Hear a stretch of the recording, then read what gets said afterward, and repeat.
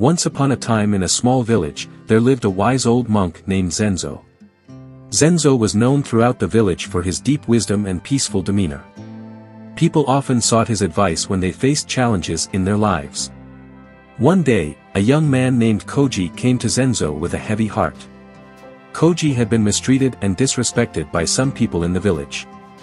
He felt hurt and humiliated, and he couldn't understand why they treated him that way. Koji poured out his troubles to Zenzo, tears streaming down his face. Zenzo listened patiently, and when Koji had finished, he spoke softly, Koji, I understand your pain, but I want to share a story with you. Once, there was a beautiful garden filled with all kinds of flowers. People from all around would come to admire its beauty. Among the flowers, there was a magnificent rose. It stood tall, with vibrant red petals and a sweet fragrance that filled the air. Everyone who passed by the garden would stop to admire the rose, and they would pluck its petals to take with them as a symbol of its beauty.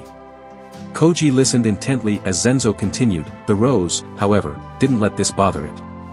It continued to bloom and spread its fragrance, even when people plucked its petals. It didn't lose its self-respect or its sense of purpose. It knew its worth and remained graceful. Zenzo looked at Koji and said, Koji, just like that rose, you too have your own unique beauty and worth. People may sometimes disrespect or mistreat you, but it's essential to remember your own value. Your self-respect is like the fragrance of the rose. It should not depend on how others treat you. Koji realized the wisdom in Zenzo's words. He understood that he needed to maintain his self-respect, regardless of how others behaved. From that day on, Koji carried himself with dignity and self-assurance. Even when faced with disrespect, he remained like the beautiful rose, never losing his inner peace and self-respect. And so, the lesson from Zenzo's story taught Koji and all who heard it the incredible power of self-respect.